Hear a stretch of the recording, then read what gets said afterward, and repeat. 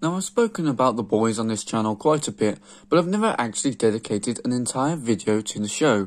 I'm going to continue the tradition by talking about Tiger and Bunny, an anime with a lot of similarities and quite a lot of noticeable differences from the boys. Now the boys is very bloody, very sweary, and very sexually charged, whereas Tiger and Bunny has the occasional bit of blood, I've had nosebleeds that were bloodier, the occasional swear word, but nothing anywhere near as bad as what Butcher loves to say, and there's no sex scenes in Tiger and Bunny, although I will say that I really like Blue Rose's outfit. However, they both provide a really cynical depiction of what the life of a superhero would be really like. However, I feel like you could get away with showing Tiger and Bunny to your kids, whilst you absolutely cannot show the boys to any children. What I love about these two shows is that they show two different negative sides of superheroes being real. The boys shows the corruption of one's powers and the unfortunate consequences that can have on people without abilities. The Boys is kind of a reflection of celebrity and social media culture, showing the negative sides of that, but in a heroic coat of paint. If pop stars and actors are constantly coked up, doing morally questionable things, and just making a nuisance, then of course these problems would increase tenfold if they all had superpowers and no one could do a thing to stop them. Tiger and Bunny takes the stance of the heroes being more like office workers than pop stars.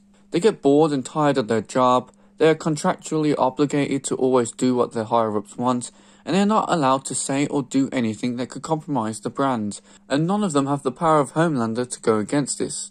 I also love that all of the heroes are adorned in brands like they're footballers, and I love that everything they do is broadcast on television for all to see. Kind of like those cop shows where you watch them bust into houses and arrest people, except this one is more family friendly and has a brighter filter over it. These elements make the superheroes' heroics feel secondary to the business. This is what makes Tiger such an interesting character.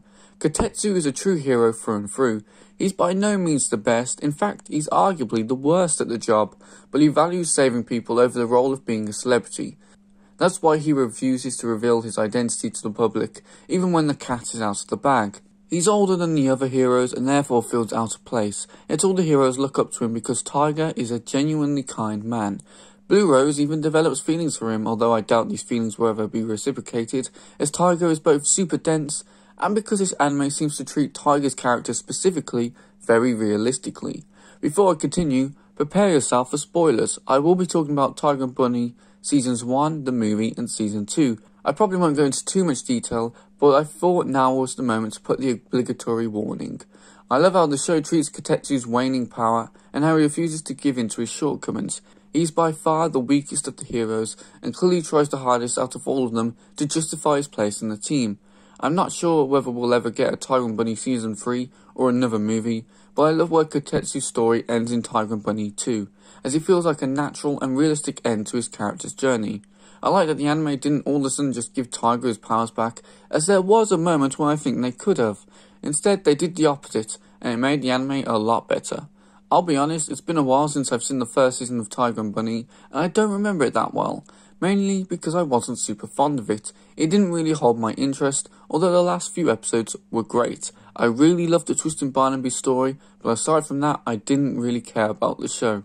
I wasn't too excited for season 2, but I thought I'd catch up on the film to prepare myself and I actually really enjoyed it. I forgot how good the dynamic between Tiger and Bunny is. The two of them constantly argue, but it feels like two brothers that care for each other, instead of two people that actually hate one another. Tiger is the older brother who gives the more naive, cocky Bunny advice on not just heroics, but life in general, whereas Bunny is the younger brother who believes the older brother is an idiot and that he actually knows best. What's fantastic is sometimes he does.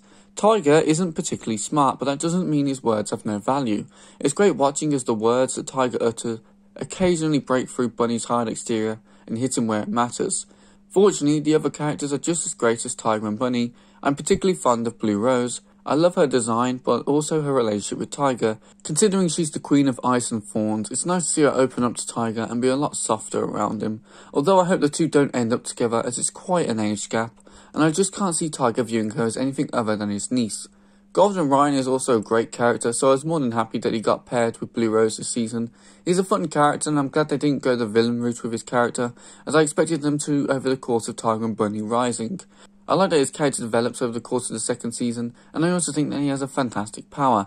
The other characters are great as well, but Tiger, Bunny, Blue Rose, and Ryan are the standouts for me. although I do like the new heroes they added in Season 2. Well, maybe not Water Girl, but Thomas and Black were two cool characters, and just like Tiger and Bunny, they had an amazing dynamic. I like that in some ways Black is to Thomas what Tiger was to Rose. Another thing I would like to praise is the English dub for this anime, which is what I watched. All the voices are distinct and in my opinion really suit their characters. Specifically Wally Wingert as Tiger, Yuri Lowenthal as Bunny, and Liam O'Brien as Lunatic.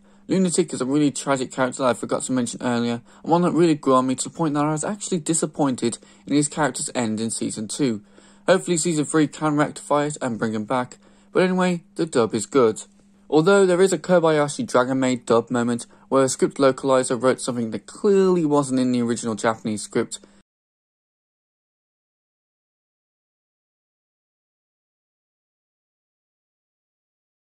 This scene stands out really badly in the anime, mainly because whether you agree with what Ryan says or not, no one talks like this.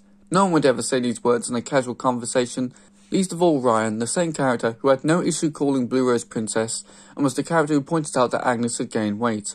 It's another case of a localizer overstepping their bounds, resulting in a terrible scene that sticks out for all the wrong reasons. But other than this rather notable scene, the dub is great and I have no issue with it. I can't believe I forgot about this aspect of the anime, but Tiger Bunny makes the interesting decision to combine 2D animation and CGI. Now this practice is a lot more common nowadays with major anime like Chainsaw Man and Bleach Thousand Year Blood War doing the same thing, but no anime does it quite as much as Tiger and Bunny. Sometimes I think this trick works, and other times I don't, but overall, I'm used to it. I love how fluid the characters' motions are when it's CGI, and I don't think the CGI in this anime is bad. Would I rather the whole anime be 2D? Yes, but that doesn't mean I hate the CG. In fact, I think it gives Tiger Bunny a unique charm and really makes it stand out from the pack. Even though there are moments that are let down by the CGI. Basically, what I'm saying is that the CGI is not on a par with Studio Orange's works, but I would put it above the CGI in Attack on Titan's final season. By the way, I don't think the CGI in Attack on Titan is bad, I just think Tiger and Bunny is better able to utilise its CGI. If you haven't checked out Tiger and Bunny, then I recommend you do. I think it will pleasantly surprise you, and it is definitely perfect for those who think the boys is a bit much.